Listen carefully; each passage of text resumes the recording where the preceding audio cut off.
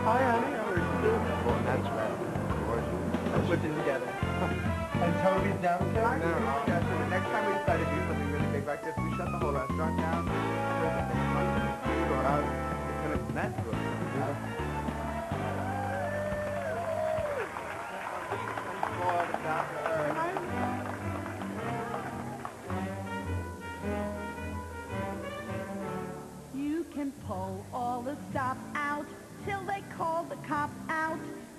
Grind your behind till you're banned.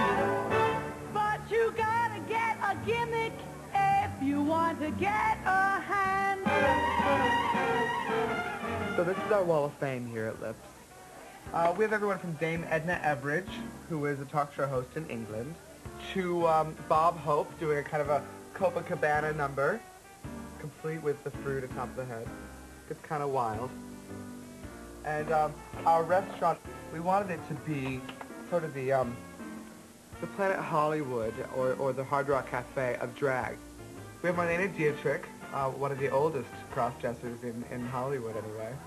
And uh, speaking of Hollywood, we have Flip Wilson in drag from the movie Skate Town USA.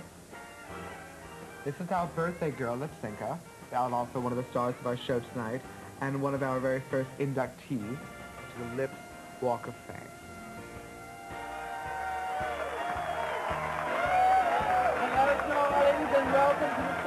Of Lips. How's everyone tonight? Let me hear.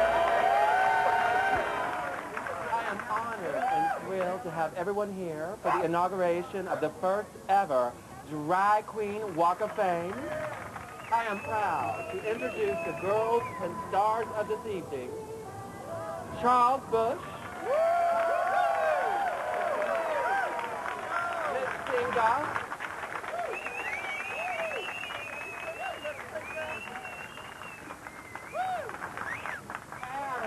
Miss. And Miss, I think it's Miss who says, know, Miss Lady Bunny. Girls, look over here. Look over here. Now, girls, I know you haven't done this in a while, but you have to get down on your knees. Oh dear. You show them, darling. and the count of three, three, two, one.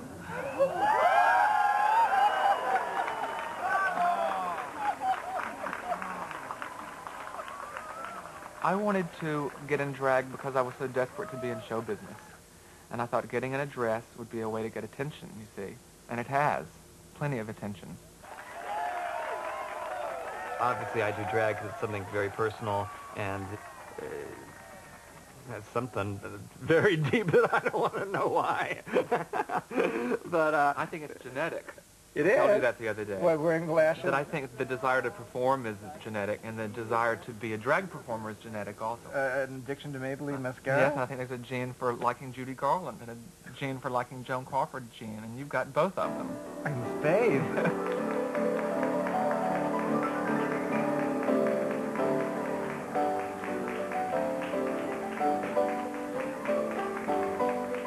I grew up watching old movies on TV, and I was just addicted to all the old Warner Brother MGM films. And I think, you know, by the time I was nine, I could recite the entire filmography of Ida Lupino.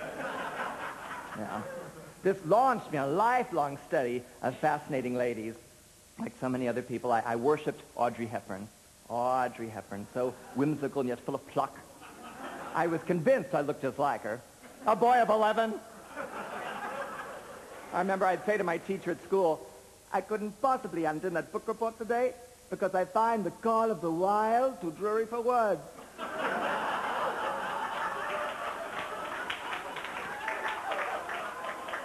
When I got home, I would pretend that my glass of milk was straight gin. I, I tried to swig it like Susan Hayward in one of her great alcoholic roles.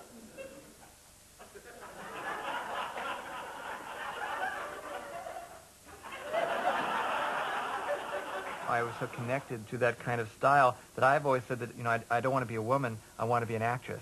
For some reason, playing a female character is the best way to express myself. Now, for those of you who have never seen me before, I'm not a woman. I merely play one on stage. I have been called many things. Among them, female impersonator. But you should know that the politically correct term nowadays for a female impersonator is gender illusionist.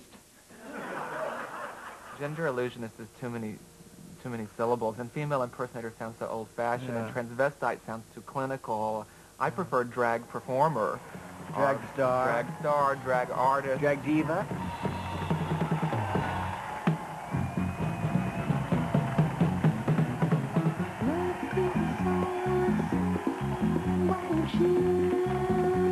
You